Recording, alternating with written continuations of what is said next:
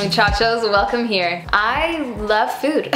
that is how we are starting out this video. I'm very creative with the food that I make. I enjoy the colors and the flavors and even just the whole process of cutting things up and preparing things and putting things together. It's a huge way that I take care of people around me. It's a huge way that I can serve people. And it's a huge way that I can honestly take care of myself by making myself not just like whatever food, but good food and food that's good for me and something that I really enjoy. So for today's video, video, I'm going to be serving you guys up a what I eat in a day video. A couple days ago, I filmed everything that I ate in that particular day, and I thought you guys would enjoy this kind of a video. I always get requests to do more what I eat in a day and just food related videos. I think also because I eat dairy free, a lot of other people do as well, and they just need some inspiration, ideas, how do I cook without milk and dairy and cheese, especially if the rest of the family isn't dairy free. So I hope you guys really enjoy this video video. Be sure to subscribe to my channel. Thank you once again for over 600,000 subscribers. That is just amazing. I'm just very thankful for all of you. I think it's cool the amount of support that I get from you guys. Anyway, this is what I will typically eat in a day. I like to have a lot of veggies, but I'm also a huge carb bread person. So you're gonna see that here in this video.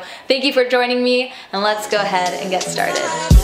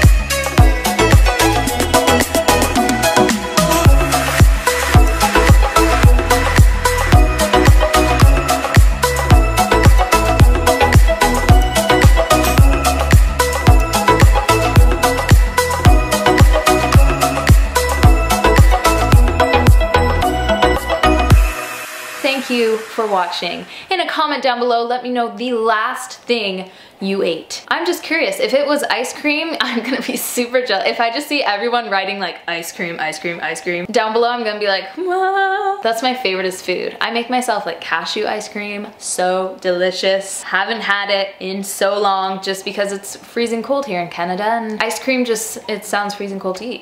Thank you for watching. I love you all and I will see you in the next video. Bye guys.